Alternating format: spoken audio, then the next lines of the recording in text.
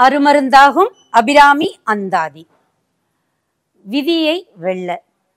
நமக்கு விதிக்கப்பட்ட விதி இதுதான் அப்படின்னு தெரிஞ்சிருக்கும். ஒரு சில பேர் வந்து ஜோசியம்லாம் பார்த்துட்டு அவ்வளோதான் இல்லை இப்போ நம்மளுக்கு டைம் சரியில்லை அப்படின்னு எல்லாம் அவங்களுக்குள்ளேயே ஒரு மைண்ட் செட் பண்ணியிருப்பாங்க ஸோ அப்படி நம்ம மனசு நம்பக்கூடிய விதிகள் அந்த கடவுளால் எழுதப்பட்ட விதி எனக்கு இதுதான் அப்படின்னு நம்மளாவே ஒரு அனுமானம் பண்ணி நம்ம மனசு நம்புற ஒரு விஷயத்த கூட நாம அபிராமி அந்தாதி மூலமா படிச்சு மாத்திக்க முடியும்.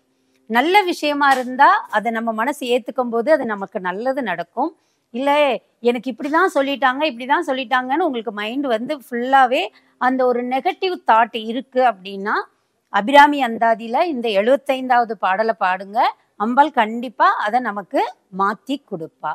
தங்குவர் கற்பகத் தாருவின் நீழலில் தாயரின்றி மங்குவர் மண்ணில் வலுவா பிறவியை மாழ்வரையும் பொங்குவர் ஆளியும் ஈரேல் புவனமும் பூத்த உந்தி கொங்குவர் பூங்குழலால் திருமேனி குறித்தவரே.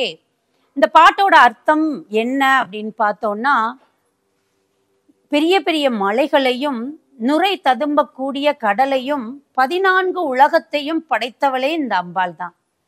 இந்த அம்பாளை மனசுக்குள்ள சிந்திச்சுக்கிட்டே இருக்கும்போது நாம நமக்கு இந்த அதாவது தாயாரே இல்லாம மாறுவோமா? அதாவது இந்த அர்த்தம் என்ன அப்படின்னா இந்த பூவுலகில் நமக்கு தாயார்த்தே தேவையில்லை. அம்பாளே வந்து நமக்கு தாயாவா? அவளுடைய குழந்தையா நாம இருக்கும்போது நம்மளை எந்த கவலைகளும் எந்த விதின்னு சொல்லக்கூடிய எந்த துயரங்களும் அணுகாமல் பார்த்து கொள்ளுவாள் அப்படிங்கிறாரு அபிராமி பட்டர்.